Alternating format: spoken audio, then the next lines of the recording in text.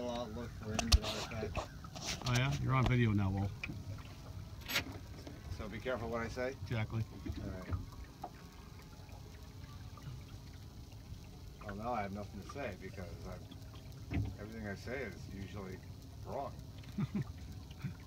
I don't think so.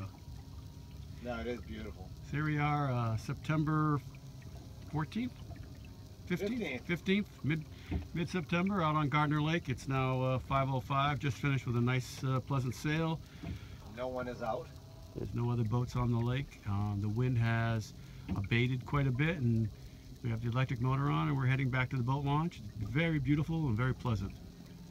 I'll take a little bit more video for uh, my fans, and uh, really nice, really nice. There's Wally sitting there. There's an osprey. Where's an osprey? Right There's an over there. osprey. Yeah, right there. I got it. I believe that would be 10 o'clock. Looking for a fish, looks like.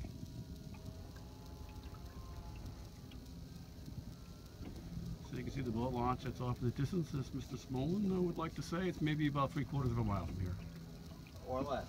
or less. Signing off for now.